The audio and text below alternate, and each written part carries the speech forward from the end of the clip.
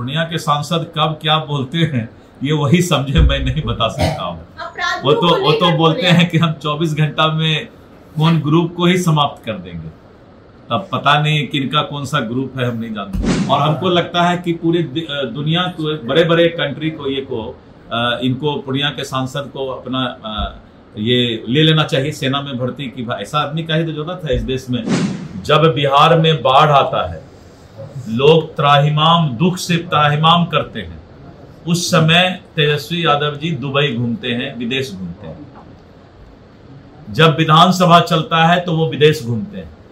तो बिहार की जनता इतना बेवकूफ़ नहीं है कि ऐसे नेता को इज़्ज़त देने वाला है। नमस्कार, आप फ़र्स्ट लुक बिहार देख रहे हैं और मैं हूँ अभिषेक रंजन। केंद्रीय मंत्री गिरिराज सिंह का हिंदू स्वाभिमान यात्रा निकलने वाला है। इसको लेकर देखिए कि बीजेपी के प्रदेश अध्यक्ष सह राजस्व एवं भूमि सुधार मंत्री दिलीप जायसवाल से मीडिया ने आज सवाल किए हैं कि गिरिराज सिंह यात्रा निकालने वाले हैं, हिंदू को एकजुट करने को लेकर। देखिए कि इस सवाल को लेकर उन्होंने इससे अपना पल्ला झाड़ लिया है। इसके साथ ही बता दें कि दिलीप जायसवाल ने कहा है कि बीजेपी जो है, सबका साथ और सबका विकास वाली पार्टी, यानी कि सबको साथ लेके चलने वाली पार्टी है इसके साथ साथ सबका विकास करने वाली पार्टी है। तो देखिए, एक तरफ़ जहाँ पर केंद्रीय मंत्री गिरिराज सिंह हिंदू को एकजुट करने की बात कर रहे हैं, और इसको लेकर बता दें कि अक्टूबर महीने में ही यात्रा निकालने वाले हैं, यानी कि अक्टूबर महीने से ये यात्रा की शुरुआत हो जाएगी।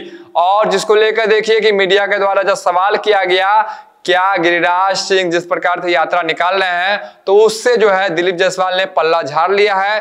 वो कुछ भी कहने से बचते हुए नज़र आए इसके साथ ही बताते हैं कि दिलीप जायसवाल ने नेता प्रतिपक्ष तेजस्वी यादव, लालू प्रसाद यादव और पप्पू यादव पर भी निशाना साधा है। कई सारी बातें कही है। पहले आप वो सुनिए। मजबूती के साथ चारों सीट पर चुनाव लड़ेगी। और जनता का आशीर्वाद, मतदाता का आशीर्वाद लेगी। झारखंड में कितनी सीट पे आप लड़ेंगे? एनडीए का समझौता हो चुका है। सही समय पर प्रेस को बता दिया रामगढ़ जो है सर एक अभेद किला की तरह रहा है विपक्ष का। क्या उसको जो है भेद पाएँगे आप लोग? इमामगंज छोड़ के सभी जो है विपक्ष का ही सीट है। लेकिन आपने हरियाणा चुनाव में देखा जनता का मिजाज बदल रहा है। जनता इस बात को समझ रही है कि इंडी गठबंधन के जो राजकुमार हैं राहुल गांधी जी हिंदुस्तान का भारत का नमक खाते हैं और विदेश में जाकर भारत अपने ही देश के खिलाफ बोलते हैं। यहाँ की जनता इसको कोई पसंद नहीं करेगी इस बात को कि इस देश का जो खाना खाए नमक खाए वो इस देश की बुराई करे। और इसका जवाब हरियाणा में मिला है। धीरे धीरे करके सब जगह ये जवाब मिलने वाला है। प्रशांत किशोर कह रहे हैं कि इस बार बता देंगे कि प्रशांत किशोर में कितना दमखम है वो चुनाव में ही पता चल जाएगा। करने वाला कभी पहले बोलता नहीं तेजस्वी यादव कल से फिर जो, यात्रा पे जो बादल हैं। गरजता है वो बरसता नहीं। तेजस्वी यादव दूसरी यात्रा कर रहे संवाद यात्रा। हाँ विपक्ष के नेता जो यात्रा पर निकल रहे हैं जब बिहार में बाढ़ आता है लोग त्राहिमाम दुख से त्राहिमाम करते हैं। उस समय तेजस्वी यादव जी दुबई घूमते हैं विदेश घूमते हैं। जब विधानसभा चलता है तो वो विदेश घूमते हैं। तो बिहार की जनता इतना बेवकूफ़ नहीं है कि ऐसे नेता को इज़्ज़त देने वाला है। जो आदमी बाढ़ के समय भाग जाए। और बाढ़ जब अब समाप्त हो गया, बेचारे कष्ट में है तो अब डफली बजाने के लिए जाएँगे। तो डफली बजाने वाले जात पात का ही राजनीति करके नेतागिरी कर रहा है। या फिर पिताजी के नाम पर राजनीति हो रहा है। अपने क्या है उनका? कुछ है क्या? देखा जाए तो जब से केंद्रीय मंत्री गिरिराज सिंह ने कहा है कि हम हिंदू एकजुटता यात्रा करेंगे, उसके बाद अब विपक्ष कह रहा है कि विधानसभा चुनाव से पहले ही जाति धर्म की राजनीति शुरू कर दिए ये लोग। अब मैं इस पर कुछ बता नहीं सकता हूँ कि कौन सा यात्रा और कैसा यात्रा है। लेकिन ये ज़रूर बोलूँगा कि भारतीय जनता पार्टी ही एक ऐसी पार्टी है जो सबका साथ, सबका विकास, सबका प्रयास और इस देश को आगे बढ़ाने का काम करती है। सर एक मेरा सवाल है। पूर्णिया के सांसद ने कहा है कि देश जो है हिजरा हो गया। है। जिस मायने में उन्होंने ट्वीट किया है इसको आप किस रूप में लेते हैं?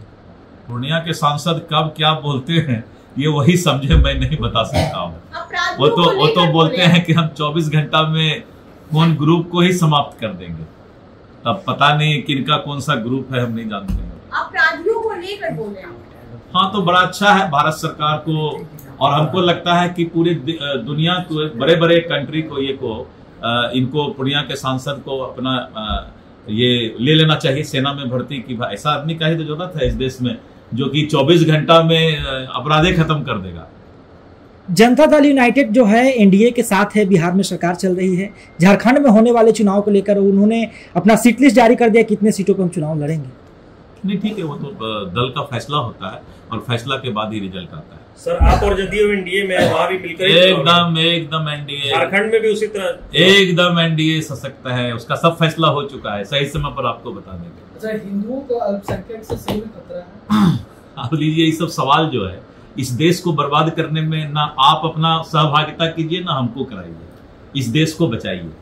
सरहद मार्ग का जो दीवार घेरा जा रहा है विपक्ष की राजनीति हो रही है। ये तो वही पता चलेगा। आप भी अपना कहीं वास्तु गड़बड़ हो तो घर लगवा लीजिए। तो आपने सुना क्या कुछ कहना था दिलीप जायसवाल का? जिस प्रकार से उन्होंने आज प्रेस वार्ता बुलाई हुई थी और देखिए कि मीडिया के कई सारे सवाल थे जहाँ पर बता दें कि लॉरेंस बिश्नोई गैंग को लेकर भी पूर्णिया सांसद ने जिस प्रकार से टिप्पणी की थी उस पर भी मीडिया के द्वारा सवाल किया गया था। तो उन्होंने चुटकी ली है। उन्होंने कहा कि पप्पू यादव को जो है जो अन्य देश है उनको सेना में ले ले और अपने सेना का कमांडर बना दे। इसके साथ साथ उन्होंने बहुत सारी बातें कही है।